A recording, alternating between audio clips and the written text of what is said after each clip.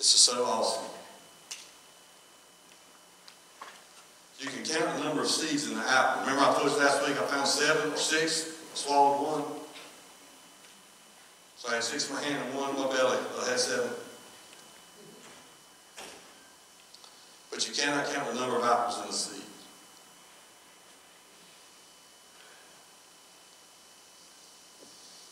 Come on up here, DC. Y'all remember the story? I've told it so many times of Johnny Appleseed. Johnny Appleseed wanted to explore. He went and got with the other guys and explore. And I forget why, why he didn't go at the time, but he was working in an apple factory. And he would say sacks and sacks and sacks of seeds. Finally, the time came when he could go exploring. And so he worked in the Midwest. And he took these sacks of seeds and he carried them with him. And everywhere he went, he would strategically plant apple trees and even apple vineyards. And somebody asked him, why was he doing this? He said, because what you plant, you're never going to reap from it. Ever. You're leaving it. Not only you're leaving it, he said, but still, some of these trees will give apples after you're dead and gone. What are you doing? He said, there's going to be people coming through here exploring this land, and they're going to be hungry. And there may not be time for them to find anything else to eat or, or, or kill something. He said, but they can always reach up and grab an apple. Y'all heard an apple a day keeps the doctor away. A clove of garlic a day keeps everybody away.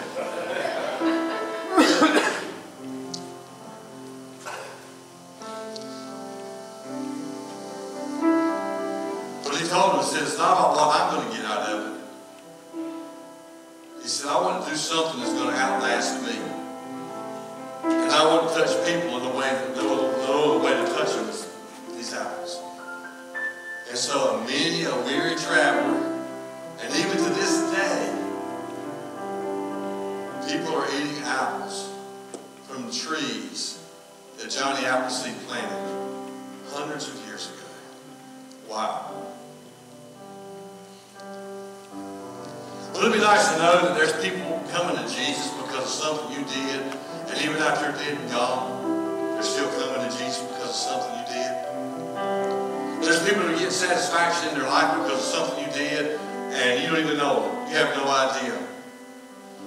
One guy told me he was sitting in, sitting somewhere in class one day, and he said his phone went off, and he said he picked it up, and he said another guy went ding, and another guy said, uh, and before he opened this, what said, he said, he said, I'm not sure where it come from. He said, but one of my friends had a friend that had a friend that had a friend that he gets this mighty army thing.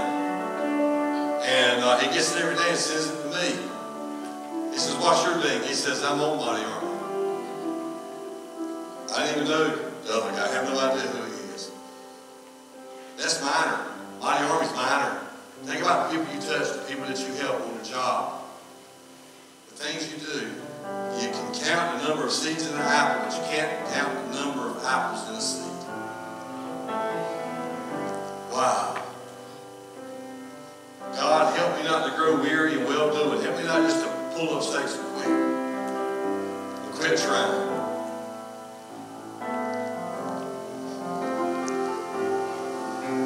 Remember, you've heard it said, people say it all the time, somebody dies. You've heard me say this too. People tell you when they die, they're getting their reward now. No, they're not. Burton just died. Burton didn't get his reward when he died. Burton got heaven. Burton got in the presence of God. Burton is no longer hurt. Burton is, Burton is young again. Burton's with May. Some awesome, awesome stuff. But he hasn't got his reward yet. Neither is May.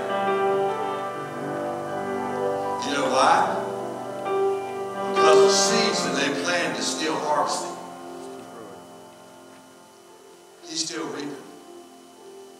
His reward's going to come at the Bema seat of Christ during the seven years of tribulation at the Bema seat.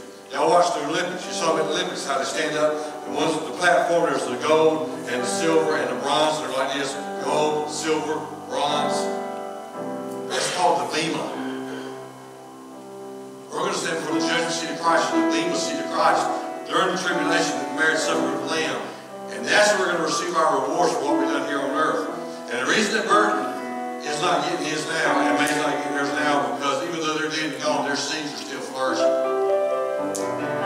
Flourishing. Something that you might think is minor, something very powerful. Even look at there those things, you know, those, those banners right there that they had, they put up there. Those things right there, every time I see them, my heart jumps. I think about, you know what, no matter what they're going to get, of y'all, just what you're going to get at the Bema seat. You're not going to get it when you die, you're going to get it at the Bema seat. Because after you die, your seeds live on. They continue to flourish. They continue to, to supply a harvest. Wow. It's awesome. It is so, so awesome to think about that. I want to do something that's going to outlive me and outlast me.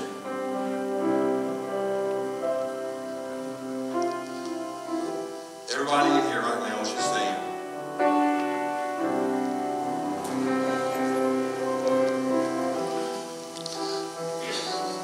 God's called all of us to learn to sow and watch how we sow and understand that every time, every action we do is a sowing.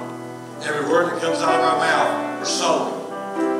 One translation says, not only will you you say, actually means you have what you sow. What you sow.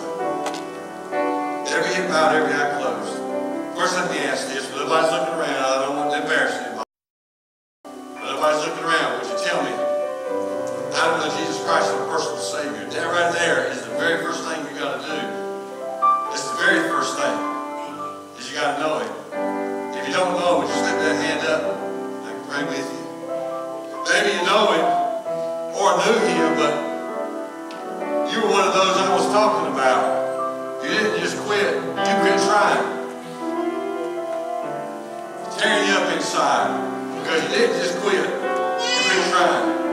You know, you told yourself you'd get back in there, but you didn't. You told yourself that there was going to be a day when I was going to get back strong, and you're not. And you find out that you don't only quit, you quit trying.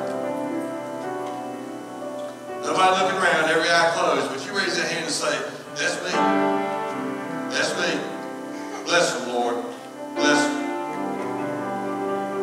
I pray right now that God gives you supernatural strength, supernatural wisdom, supernatural want to. And I pray that God lets you see that the seeds that you have already planted were not in vain, but they're coming up as we speak. And that God shows you that to give you fresh breath within you. Maybe there's someone here right now, you haven't quit yet, but you're so weary. Man, you're weary. It is terrible. You have worked and worked and worked, and you've done and done and done, and you just don't see how the world could even be any good in you. You, know, you haven't quit yet, but, but I tell you what, the finish line's in sight. And you're still thinking about, you know what, maybe it ain't worth it after all. Nobody looking around, here, eye closed. You just got weary. And you need God to touch you. Nobody looking around with you. Put up a hand and pray for him, Pastor. I've gotten weary. It's gotten to me. Bless them, Lord. Bless them, Lord. I know it hurts. I know it's aggravating.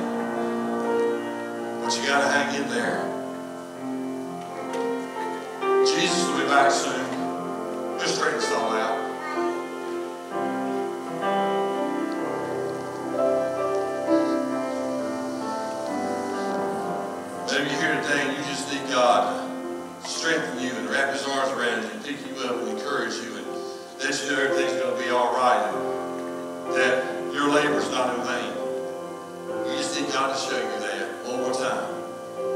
Shot the arm. When nobody's looking around, everybody's got their eyes closed, their head bowed, they put that hand up I just that shot the arm. Bless the Lord. Bless the Lord. Bless them. Just need that shot the arm. God has been done. This is not in vain. And I'm not just, I'm not, I'm not playing around. This is real. And, and what I've done is going to come back. And I thank you for it, Lord. This morning, you put your hand up for anything one of and did, you got something else you need to pray about. The altars are open. The altars are open. But know this, nothing that you have done for God has gone unnoticed. Nothing that you've done for others has gone unnoticed. You planted seeds. You may not have seen them grow up yet, but they're coming. They're going to be here. You can depend on it. Some seeds you'll never see the fruition. The fruit will be seen when you're at the bema seat of Christ. That's when you're going to see it. But it's coming. It's coming. You need to pray, come on up here. All that will. Come on up here. Spend some time before the Lord. Whatever your need is, you need healing in your body. You need God to touch you. You need God to strengthen you. You need God to just, just spend some time and talk to Him. Thank you for this day. Thank you for what He's doing.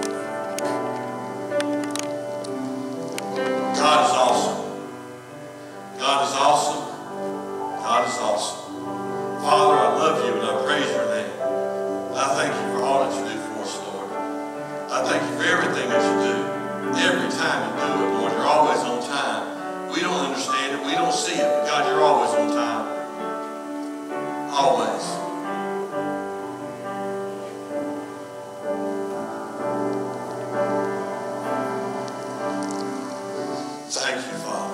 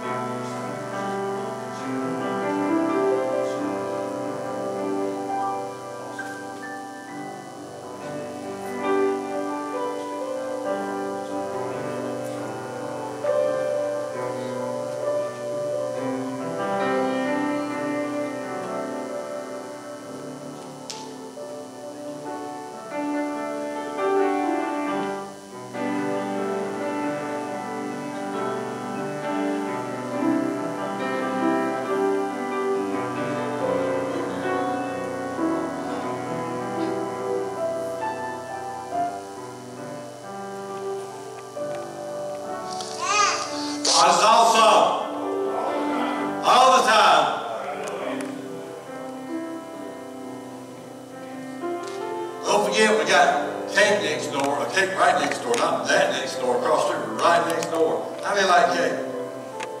Matter of fact, you might get two pieces you have your cake and eat it too. Okay? Or cut your other piece in half, have cake and too. Okay, come on back Tuesday night. We're having a good time on Tuesday night. Also, we're, we're having a, a Bible study along with uh, cake and cake and whatever else we might bring next door. It's good. We're having a good time. God's awesome. Look at somebody tell them God's awesome. God's awesome. All the time. God is awesome. All right. Brother Steve, just miss us in prayer, please. Father God,